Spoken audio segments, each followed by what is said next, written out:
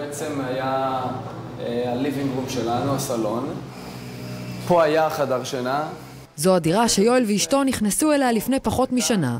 דירה מתוחזקת במקום טוב במרכז תל אביב. כך לפחות זה נראה כשהם חתמו על החוזה. הדירה בשבילנו הייתה מושלמת, ובעצם אחרי חודשיים, פתאום שהגיע החורף, התחיל, התחיל כל הנזק פה. כשנכנסתי לפה, לא היה כאן כלום. הכל היה צבוע בלבן. שאלתי אם, אם יש נזקים של רטיבויות, כי בעצם זאת קומה אחרונה מעלינו הגג, ואמרו לי שאין. בעצם התחלנו לגלות מפה נזילה ממש ממש קטנה מאיזה נקודה, וביקש, הודענו לבעל הדירה. והוא אמר שיטפלו בזה. בעל הדירה ביצע תיקון קוסמטי שלא החזיק מעמד, וכך חדר השינה נראה כבר בתחילת הגשמים. שוב פעם, התקרה מטפטפת, אפשר לראות כמה היא רטובה, הכל פה מתקלף, הכל מלא עובש, כבר שלושה וחצי חודשים. זאת הכניסה לחדר, פה ממש, מעל הכניסה, מטפטף מים. החלטנו לצאת באמצע החוזה.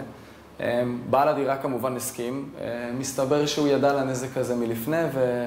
הסתיר ממך. כן, כנראה שהוא הסתיר ממני. בעל הדירה צריך להתנהג לדיירים שלו כאילו הוא בעצם גר בדירה. יואל הוא לא הסוחר היחידי שנמצא בסיטואציה בה הוא מתמודד עם בעל דירה שלא מתקן את הליקויים. בדירה הזו שניר החליט לשכור, הנזילות הם ממש לא הבעיה היחידה.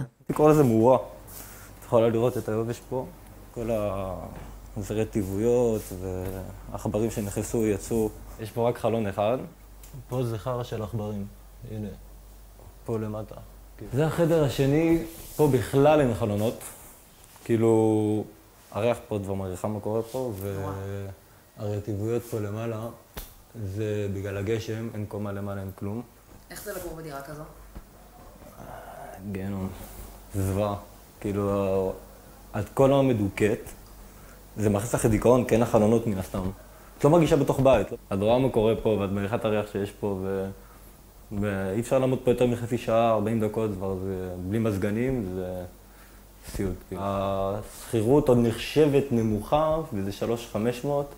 נזילה מהסוג הזה, כמו שאנחנו רואים בחדר, עם תחב ועובש, לחלוטין יכולה להיחשב כגורם שמסכן את חיי הסוחר, והמזכיר חייב לתקן אה, תוך פרק זמן של שלושה ימים. יש לו גם אופציה נוספת, לא לשלם שכירות לאורך כל התקופה שהדירה לא ראויה למגורים. בדירת שותפים אחרת, ליאור מחכה כבר חצי שנה שיתקנו לו את העובש והנזילה שבקיר.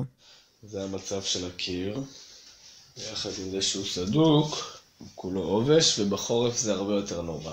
ואני עוזב את הדירה בעוד אה, פחות מחודש. בדיוק בשביל בעיות שכאלה חוקק חוק שכירות הוגנת, שמסדיר את מערכת היחסים בין השוכר והמשכיר, ומגדיר מהי דירה לא ראויה למגורים. הבעיה היא שאין מי שאוכף אותו. כדי ששוכר יוכל לממש את הזכויות שלו, צריך להגיש תביעה לבית משפט, מן הסתם הדבר כרוך בעלויות כספיות, וברוב המקרים השוכרים פשוט מעדיפים לוותר על הזכויות שלהם, או להמשיך לגור בנכס הלא ראוי, או פשוט לעזוב. בעידן שבו קיים מחסור בדירות להשכרה ולמכירה, וכשהדירות נאלצים לא פעם להתפשר ולשלם סכומי כסף גבוהים על דירות לא ראויות למגורים.